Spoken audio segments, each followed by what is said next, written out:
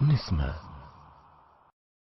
إحنا نختم جولتنا الإخبارية بإخبار قضت محكمة الاستئناف بتونس نهائيا البارح الخميس 13 جويلية بعدم سماع دعوه في حق الممثل القانوني لقناة نسمة سيد نبيل القروي وهذا بعد ما كانت المحكمة الابتدائية قد قضت سنة 2012 بثبوت إدانة إثر عرض فيلم بيرسيبوليس وقرار النقد هذايا